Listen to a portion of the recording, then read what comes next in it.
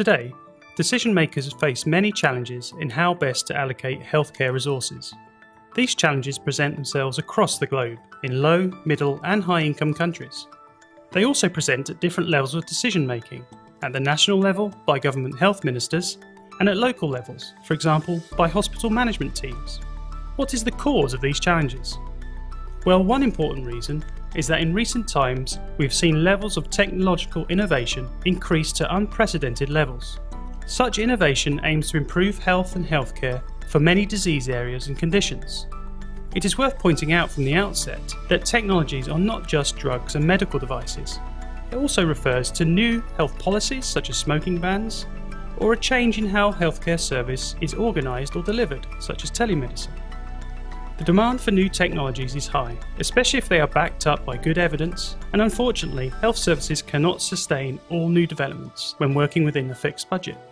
Therefore, decision makers face difficult choices. This is where Health Technology Assessment, HTA, comes in. HTA helps decision makers make informed choices by interrogating the relevant information about new technologies. Key questions that HTA addresses are Does the technology work? Does it work for all? Is it safe? Does it provide value for money? What should we compare the technology to? And who are all the stakeholders that need to be involved?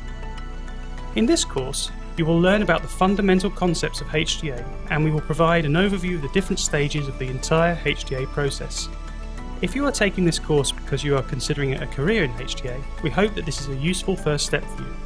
Career prospects in HTA are good and set to increase as more and more governments across the world set up HTA agencies to formally evaluate health technologies. Hello, my name is Dr. Jim Lewsey and I work in the Health Economics and Health Technology Assessment, HEHTA for short, research group at the University of Glasgow. In this course, you will learn about the fundamental concepts of HTA and will provide an overview of the different stages of the entire HTA process.